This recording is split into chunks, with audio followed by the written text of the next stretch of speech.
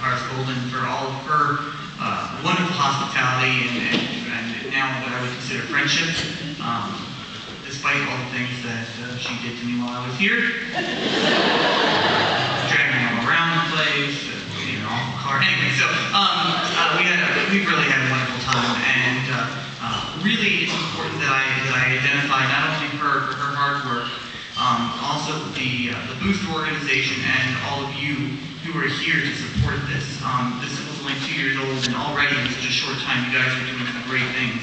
Uh, I did not work with my first guest composer conductor until I was in my uh, my graduate degree at the University of Miami. So uh, this is a really neat opportunity for them.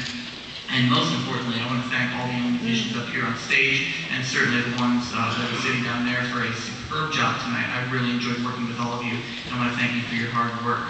Um, without any further ado, I would like to present uh, Moscow 1941, which depicts one of the most important events in World War II when the Germans were trying to invade Moscow and were held back by the Red Army. Uh, there's some program notes that you can read about in your programs, and uh, we hope you enjoy it. Thank you so much for having me.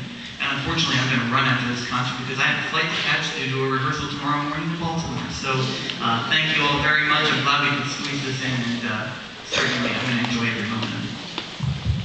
And I'm going to turn off the microphone.